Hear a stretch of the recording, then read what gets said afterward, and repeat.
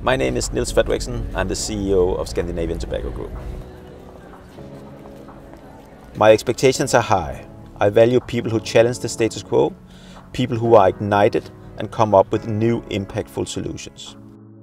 The real heroes are the ones who reinvent an industry and succeed, and that's an opportunity you have with us.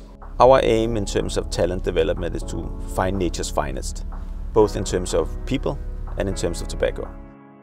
Our vision is to become the undisputed global leader in cigars and pipe tobacco, and everything we do and how we are organized is designed in order to support that. We offer huge freedom and huge responsibility, but we also expect something in return. We want people to be engaged, we want people to be curious, and we want them to show leadership.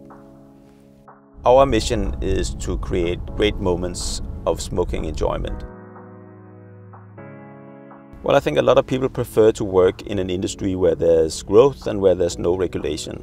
That's not the tobacco industry. We have plenty of challenges. When you succeed in our industry, which is very difficult, you will know that you can make it anywhere. The case competition is your first challenge. Success depends on you.